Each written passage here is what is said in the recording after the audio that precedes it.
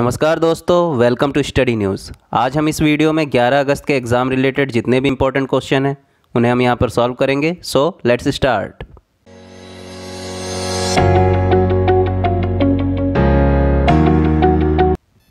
आज का पहला क्वेश्चन है, किस आईआईटी संस्थान ने स्वदेशी बीज गेंद विकसित की है?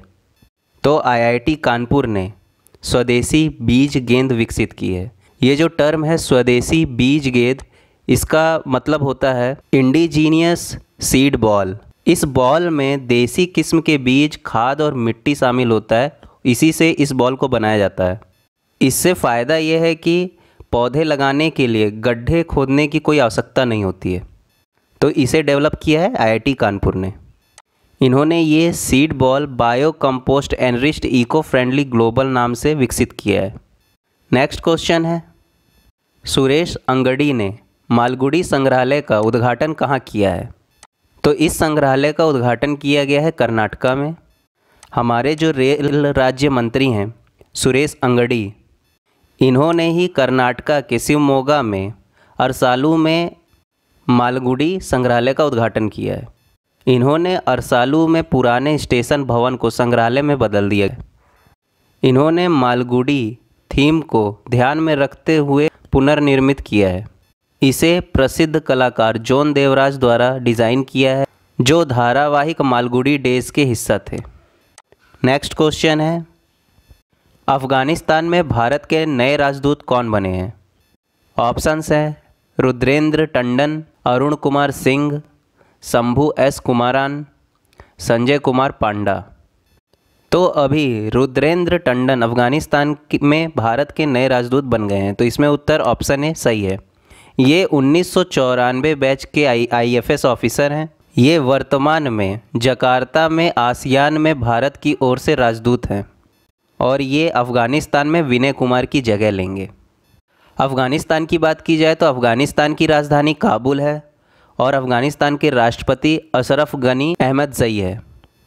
इस प्रश्न के और ऑप्शंस की बात करें तो ये जो अरुण कुमार सिंह हैं, ये अभी हाल ही में यूएस में भारत के राजदूत अपॉइंट हुए हैं। इससे पहले ये फ्रांस के राजदूत थे।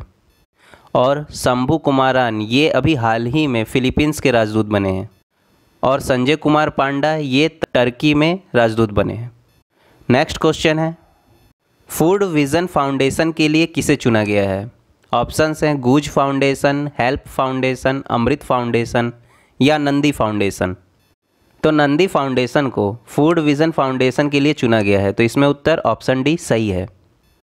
अमेरिका स्थित रॉक फेलर फाउंडेशन ने नंदी फाउंडेशन को फ़ूड विज़न 2050 पुरस्कार के लिए दुनिया के शीर्ष दस दूरदर्शी में से एक के रूप में चुना है।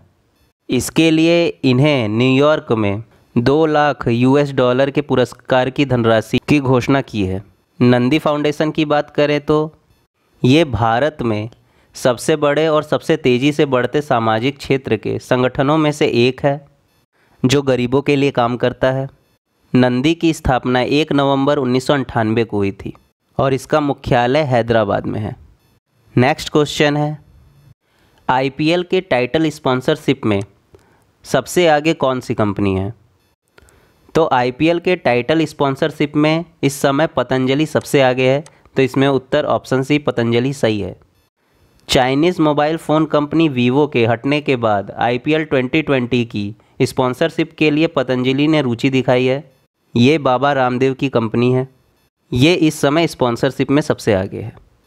नेक्स्ट क्वेश्चन है, अलेक्जेंडर लुकासेंको किस देश के राष्ट्रपति बन गए हैं? ऑप्शंस हैं सिंगापुर, बेलारूस, यूक्रेन या फिनलैंड। तो अलेक्जेंडर लुकासेंको छठवीं बार बेलारूस के राष्ट्रपति बन गए हैं। तो इसमें उत्तर ऑप्शन भी सही है।